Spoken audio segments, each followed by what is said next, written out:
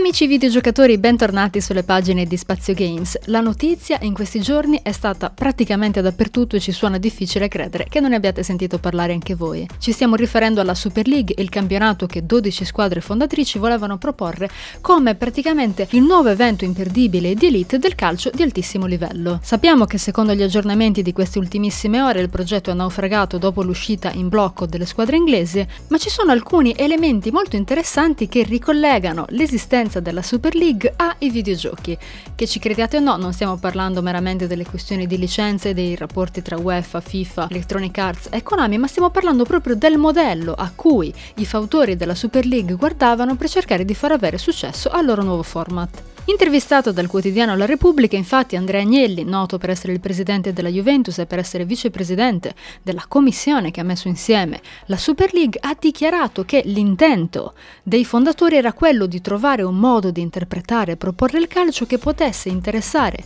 i giovani al punto tale da strapparli dalla loro passione per i videogiochi.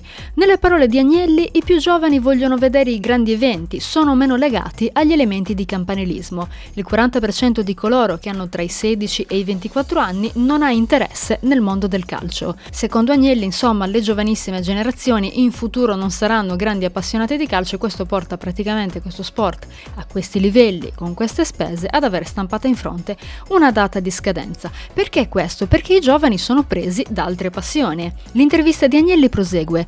Andare a creare una competizione che simuli ciò che fanno le piattaforme digitali significa andargli incontro e fronteggiare la competizione di Fortnite o Call of Duty, che sono i veri centri di attenzione dei ragazzi di oggi. Abbiamo fiducia nella bontà della nostra iniziativa. Secondo Agnelli quindi era fondamentale proporre un format che fosse in grado di attirare l'attenzione dei ragazzi che invece preferiscono seguire eventi live e tornei ma magari su Fortnite e su Call of Duty, non sono legati alla questione di campanilismo che citava per cui magari sentono fortemente una partita contro una determinata città. Non si tratta di un riferimento isolato, pochi giorni fa Florentino Perez, presidente del Real Madrid e anche della Super League, a Ciringhito TV in Spagna aveva parlato dell'idea addirittura di accorciare i tempi della durata delle partite rispetto ai 90 minuti classici perché i giovani abituati più a un approccio alla Twitch, a eventi completamente diversi, troverebbero noiose le partite da 90 minuti. Insomma, è molto curioso notare come la Super League, per cercare di nascere e di trovare la sua identità, abbia guardato anche e soprattutto ai videogiochi per capire come cercare di parlare con i giovani. Vedremo se questo progetto tornerà in futuro e in caso se lo farà ancora una volta guardando ai videogiochi. Come sempre sulle pagine di Spazio Games vi riporteremo tutti gli aggiornamenti su FIFA, PES, Football Manager e qualsiasi altro utilizzo delle licenze calcistiche all'interno del mondo dei videogiochi, quindi non perdete di vista il nostro sito.